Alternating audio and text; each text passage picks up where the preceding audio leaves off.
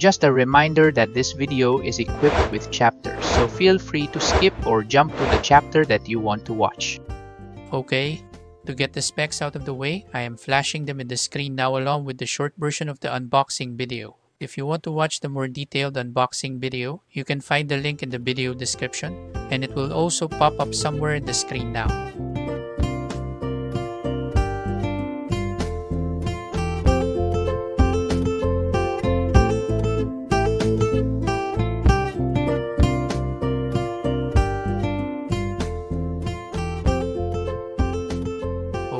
Now for the build of the VivoBook S16. They went to a minimalist elegant design here with a plain silver color and a shiny, subtle and small Asus VivoBook lettering here in the right side.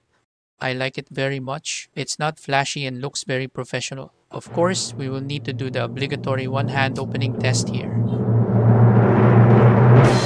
When the test, you can easily open the laptop using one hand. Great. The keyboard color aligns with the same body color which I also like very much. It can also open flat up to 180 degrees. We again have a subtle VivoBook logo here at the bottom of the screen bezel. The S16 has a backlit chiclet keyboard with one zone RGB lighting and a number pad, which you usually only get on a gaming laptop. And this is a wish come true for me as I always wanted an RGB keyboard lighting but did not want a bulky and heavy gaming laptop. This is perfect combination of thin, light and professional looking laptop with a gaming lighting aesthetics. I love it. The touchpad is big and has special controls when swiping from the sides, which I'll show more in details later. For the sticker placements, I'm not a fan of the stickers on the left side. They certainly could do better than this. It's not even aligned and there's no sense of any symmetry here. Maybe I'm just a bit OCD, but I did not like it. The body of the laptop feels sturdy with its aluminum body, which gives it a sleek, durable, and lightweight design, making it both stylish and very portable considering its size. We have wide vents at the bottom of the laptop and some rubber feet at the front and a rubber bar just beside the vents to facilitate airflow. S16 is very lightweight for a 16 inches laptop at only 1.5 kilograms. It measures 35.36 by 24.69 centimeters with thickness of 1.39 to 1.59 centimeters. The body is a US MIL-STD-810H military grade standard, which give confidence for its durability. A sturdy portable body with gaming lighting aesthetic, what more can anyone ask for?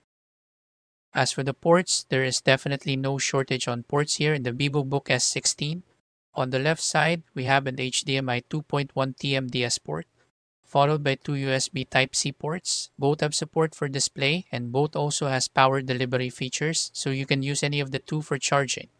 The first port is a 3.2 Gen 1 with data speed of up to 5 Gbps, and the second is a 3.2 Gen 3 that can support up to 40 Gbps data speed. Then we also have a micro SD card reader that can support up to 1 terabyte of storage. This should give ample space for your files and applications, along with the 1 terabyte SSD that comes with the laptop. Then lastly on this left side is the 3.5mm combo audio jack on the right side with two USB Type-A, which are USB 3.2 Gen 1, with data speed up to 5 Gbps. Then we also have two LED indicator lights here. The first one is the power indicator and the second is the charging indicator. It's just a weird placement for the charging indicator though, since you're plugging in the charger, the USB Type-C port on the left side, while the charging indicator is on the other side. But it's not a big deal, just weird placement. Other than the physical ports, we of course have the wireless connectivities here. The laptop is equipped with the latest Wi-Fi 6E technology, which offers faster speeds, lower latency, and better performance in congested environments. This is particularly beneficial for streaming, online gaming, and video conferencing. Along with then is the Bluetooth 5.3, which ensures a stable and efficient connection with various Bluetooth devices such as headphones, mice, keyboards, and more. The VivoBook S16 has more than enough ports and connectivity options to go by, and for someone coming from the small ZenBook 13 laptop, this is a great relief as I do not need a USB hub now anymore. The Asus VivoBook S16 display is my favorite part of this laptop. It is designed to deliver exceptional visual performance, whether you're working on graphic design, watching high-definition content, or playing games. It comes with a 16 inches OLED display with a 3.2K resolution that is 3200 by 2000 to be exact, The 89% screen to body ratio with 16 by 10 aspect ratio adds more vertical space, which is beneficial for productivity tasks and provides a more immersive viewing experience by minimizing the bezels around the display. As with almost all the OLED display from Asus, it has 100% DCI-P3 color gamut coverage, so the display can reproduce a wide range of colors, making it ideal for tasks that require color precision such as photo and video editing, which is mostly what I use this laptop for. The screen supports a peak brightness of 400 nits and a 600 nits HDR brightness, ensuring clarity even when using it outside. The HDR capability adds better contrast and color accuracy in supported content as well. The display also boasts a fast 0.2 millisecond response time and up to 120 Hz refresh rate, providing smooth visuals with minimal motion blur, which is perfect for gaming and fast-paced videos. Its combination of high resolution, OLED technology, broad color support, and superior response time makes it a standout feature for me of this laptop. And obviously, I love this superb display of the VivoBook S16 for the keyboard, we have a backlit chiclet, one zone RGB with number keypad. The 1.7mm key travel is perfect for me. This is of course subjective, but for me, my fingers were able to quickly adjust with the layout and key travel of the keyboard. With almost just a couple of hours, I've been typing like I was using the laptop for a long time already. As this is marketed as an AI laptop, we have dedicated Copilot key here, where we usually have the right control key. It simply opens the Copilot application as what you would expect. Honestly, I don't get the appeal of this as it is easier to use the mouse and just click the Copilot icon from the taskbar. But anyway, it is the idea you need it. And again, coming from a 13 inches laptop, I appreciate the dedicated numpad here. It's very convenient when you're crunching numbers on Excel or something. And of course, I love the RGB lighting effects of the laptop. The keys are not as tactile as the ones I experienced with Lenovo laptops, but it's close enough. It does not feel cheap though, like the ones in Acer laptops. In fact, it feels very sturdy. I'm just missing some more kickback of tactility from it. On the bright side, the keys are quiet, so you won't disturb anyone when working late at night. Overall, the keyboard of the S16 is good. Not the best, but definitely one of the top laptop keyboards I've used. We also have a precision touchpad here made out of glass which offers a smooth and responsive surface. As you might notice, the touchpad is generously sized, providing ample space for multi-finger gestures and navigation. To be specific, it is 5.94 by 3.5 inches in size, which is significantly bigger than most touchpad from other laptops. And since it is huge, your hand will definitely touch it when typing, but don't worry as it is equipped with palm rejection technology to prevent accidental input while typing. In addition to that, it also packs unique edge gesture controls, which is not just a gimmick, but actually very helpful. Swiping on the right edge of the touchpad lets you control the brightness of the screen. The left edge lets you adjust the volume of the laptop, and this is the feature that I use most often as it is way easier and faster than going to the taskbar and adjusting the volume from there. Then a swipe from the top edge of the touchpad will also let you do a quick search or scroll within a video you're watching. The scroll is by 5 seconds on a slow swipe and it increases as you swipe faster. I don't use this much as it's a lot easier to just click on the video's progress bar than scrolling. But again, it's there if you need it. The laptop features a powerful 75 watt hours 4 cell lithium ion battery that supports up to 14 plus hours of usage on paper. Of course, when on paper, they always test that against the most minimum possible settings. On my actual usage, it's still a whole day laptop. I always use it at 60 Hz refresh rate, at 80% brightness, and 50% volume. For light usage like watching TV series or movies using headphones, MS Office related tasks, browsing, and writing, from 100% down to 15% takes around 8 hours. While on a more demanding usage, like watching videos using the laptop speakers, rendering or converting videos, and gaming, 100% down to 15% takes slightly more than 5 hours. By far, this is the most long-lasting laptop battery that I have owned. In movies or TV series, you always see the characters using their laptops unplugged for hours. And that always bothers me as the biggest fiction of all time. But with this Snapdragon Elite and this new Ryzen AI chip, those fiction scenes are a reality now. For battery management, Asus also provides software tools to help manage and optimize battery performance, ensuring you get the most out of your laptop's battery life.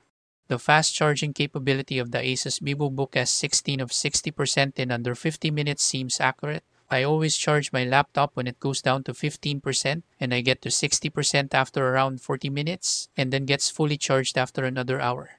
Overall, I am very contented with the charging speed and battery life of the VivoBook S16. It offers impressive battery life and the fast charging is very helpful, making it a reliable choice for both day-to-day -day activities and more demanding tasks. In the audio department, the VivoBook S16 comes with a Harman Kardon tuned and certified built-in speakers. It offers a clear and immersive sound quality. The sound is so loud and it is literally like listening to a Bluetooth speakers. But of course, with its slim factor, you should not expect any good bass output here, but still delivers high fidelity sound, providing a balanced treble and great mids, which is particularly effective at enhancing vocal clarity, making it ideal for video calls and watching content with dialogue. Here are sample sound from the laptop.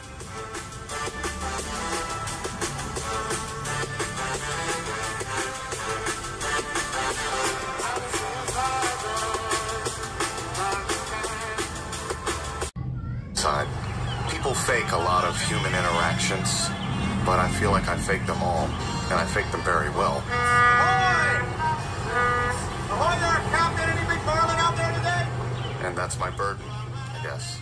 The webcam of the VivoBook S16 can record up to 1080p resolution. And I love that it comes with a physical privacy shutter which helps ensure your privacy by allowing you to cover the camera when it's not in use. It is also equipped with infrared function which enables it to support Windows Hello Login or allowing for secure and convenient facial recognition Windows Login. The built-in microphone array captures clear and accurate audio even without a dedicated external microphone. My Asus application also comes with the usual AI noise cancellation technology which helps a lot to filter out background noises during calls and recordings. Here is a sample video that I recorded on a moderately noisy environment to give you an example of the quality of both the full HD webcam and the microphone array. So this is the test of the microphone and also the webcam of the Asus VivoBook S16. So we also have some uh, AI features here like auto framing so it will automatically adjust you to be on the center of the screen and also we have the eye contact I'm not sure if it's working. I'm looking on the other items now but I think my eye still stays in the screen. And we also have the background effects here standard and portrait. So let me know what you think in the comment below. As expected with a laptop that is powered by the AMD's latest Ryzen AI 9HX 370 processor with AMD Radeon 890M graphics and with 24 gigs of LPDDR5X RAM on board, it can handle both day-to-day -day tasks and demanding applications seamlessly. With its multi-core configuration, the CPU excels in multitasking, allowing you to run multiple applications simultaneously without any noticeable lag in fact, I have not experienced any stuttering or lags in this laptop yet. But full disclosure, I am not a gamer. I do play casually, but not really a dedicated gamer. I mostly play just Asphalt and online free shooting games on free time. I am more of a movie, TV series, and YouTube kind of guy, and the main reason I bought this laptop is for video editing. For video editing, I mostly use Filmora and sometimes also use Handbrake and DaVinci Resolve. It does not matter if it's 10 layer of videos being edited, overlapping videos and multiple effects, and basically anything I throw at it, VivoBook S16 just breezes through the rendering easily. On average, the rendering time takes 20% faster than the length of the video being rendered. For example, rendering a 10 minute video takes only 8 minutes to finish. The longest video that I tried to render from this machine was my review of the Vivo V40 phone which is 21 minute long and rendering took only barely more than 15 minutes. For Handbrake, it is much faster at around 35% faster than the length of the video being converted. I'm not sure how to measure or test it yet, but the laptop's processor also has an integrated neural processing unit or NPU which enhances performance for AI-related tasks such as voice recognition and real-time video processing. I've been using some AI features of Filmora and also using Copilot a lot, and they seem a lot faster when comparing to my previous laptop I'm not sure though if that's because of the NPU, because this laptop is also a lot more powerful than my previous laptop.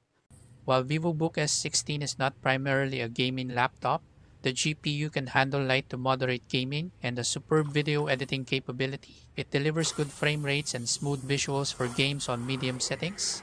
For the thermal management, the laptop features Asus Cool thermal technology, which helps manage heat effectively even during intensive tasks. And the laptop does gets hot, but it's not something to be alarmed about.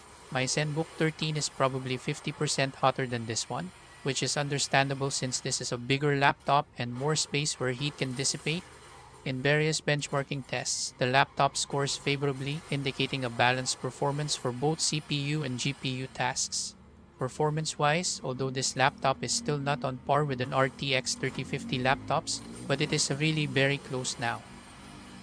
Alright, in summary, the Asus VivoBook S16 provides solid overall performance with its robust CPU and capable GPU. It's a well-rounded machine that can handle a variety of tasks efficiently, making it suitable for both work and leisure. Of course, while the AMD Radeon 890M graphics is suitable for most tasks, it may not perform well with high-end gaming or extremely graphics-intensive applications that the RTX laptops can deliver, especially the 5060s that just came out. Another hurdle for getting this laptop is the price tag, which is around 82,000 Philippine pesos. I don't know about you, but 82,000 is an expensive price for me. I needed many months of my allowance savings to afford this one, but I think it was worth it. It offers excellent multitasking capabilities and handles both everyday tasks and demanding applications smoothly. The 3K OLED display with a 120Hz refresh rate provides vibrant colors and a smooth visual experience. It offers a very decent hours of battery life, making it suitable for extended periods without charging. I love its sleek and minimalist design with a slim profile and lightweight enhancing portability, and yet also brings a gaming keyboard lighting aesthetics, which along with the touchpad brings an ergonomic, full-size, comfortable, and responsive user experience. Equipped with an NPU with up to 50 TOPS performance, it also offers an enhanced AI and machine learning capabilities, although I still need to learn how to fully utilize this. Lastly, the Harman Kardon certified speakers with Sonic Master technology delivers high fidelity sound and audio enhancement features. For me, the Asus VivoBook S16 is an excellent choice for users who require a blend of performance, portability, and modern features. However, it could be very expensive for students and it might also not be the best choice for dedicated gamers or users requiring high-end graphics performance. Other than those demographics, I would highly recommend it to anyone, especially those who need a modern, high-performing laptop for daily tasks and entertainment. The VivoBook S16 is perfect for those who need a reliable and powerful laptop for work, including tasks like office suites, web development, and content creation, and then lay back at the end of the day for media consumption. If you enjoyed this video, give me a thumbs up. If it has helped you in any way, please do consider subscribing to the channel. Nilasuj for watching. No bear.